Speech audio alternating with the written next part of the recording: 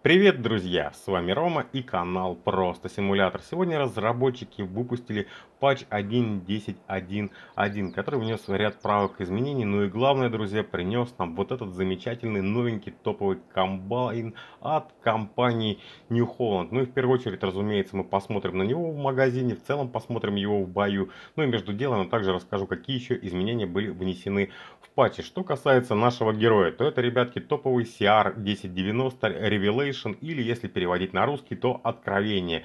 Мощность двигателя этого комбайна 700 лошадок, 30 км в час у него максимальная скорость и объем бункера 14500 литров. Есть три конфигурации дизайна для вот как раз таки этого самого бункера. Вот есть тут такая вот, друзья, открытая версия, есть, разумеется, закрытая, есть еще третий, третий вариант, также открытый, друзья, вот, это, вот этого самого места, где мы видим, как у нас ссыпается зерно. Кроме того, что касается бренда колеса, здесь есть несколько вариантов с двойными колесами, или лишь в трейлиборге, ребятки, есть история с траками, если это кому-то нравится. Вот все, что касается конфигурации. Кроме того, с этим комбайном идут две зерноуборочных жатки, сейчас мы на них посмотрим. Одна из них, конечно, просто шикарнейшая, ожидаемая. Он что касается той, что поскромнее, это, собственно, VeryFit 41FT.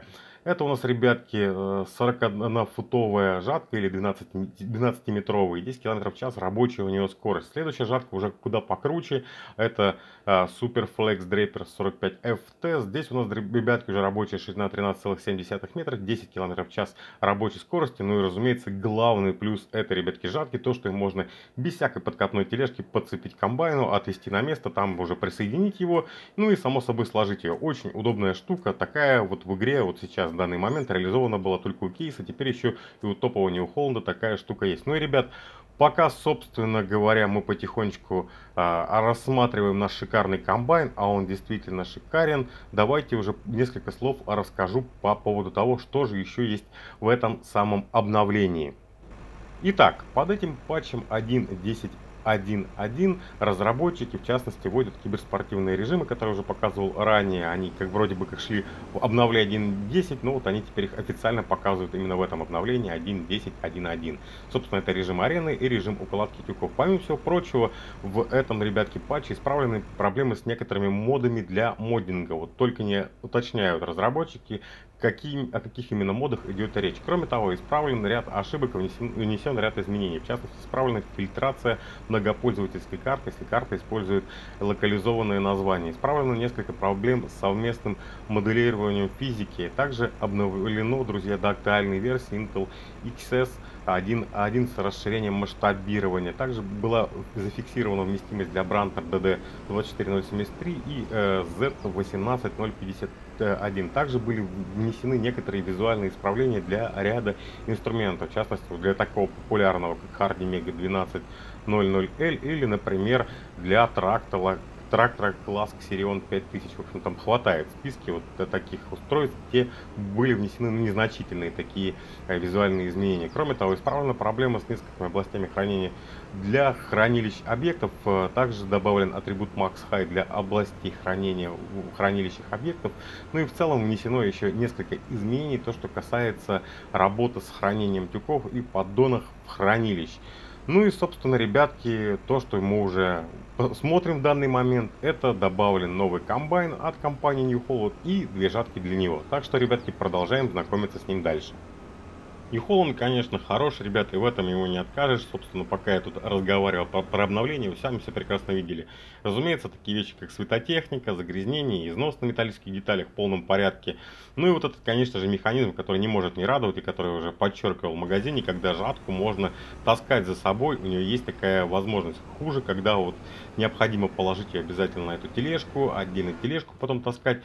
Ничего такого особенно удобного. Вот здесь же все функционально встроенная в жатку по факту. Это тележка, которая позволяет нам, друзья, чувствовать себя комфортно и комфортно эту жатку доставлять на место, собирать, разбирать.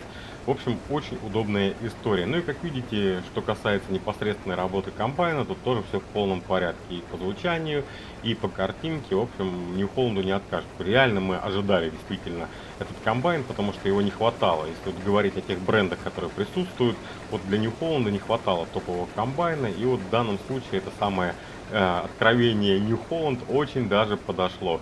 Потому что то, что присутствовало, ребятки, в модах, э, зачастую было прям очень низкого качества, к сожалению. Один из этих модов я даже как-то показывал, он там просто тихий-тихий ужас. Спасибо разработчикам, что наконец-то они подарили нам такое замечательное устройство. Тем более, учитывая, какой впереди грядет пак для второго, опять же, сезонного абонемента. Это прям такая хорошая пилюля, чтобы подсластить общую картину от этого самого пака, который нас опять тянет в Синакос, второй пак подряд. Ну да ладно, ребятки, об этом мы поговорим 15 июня, а пока же наслаждаемся вот этим самым обновлением, которое принесло нам вот этот New Holland CR 1090 Revelation. Так что, друзья, настоятельно рекомендую попробовать сегодня это самое обновление, ну и само собой обкатать этот красавец New Holland. Но я же буду на этом завершать свой коротенький обзор. Все, что хотел, я вам показал, акцентировал внимание. Но, как всегда, друзья, желаю вам и вашим близким здоровья, всего самого наилучшего, конечно же, мирного, чистого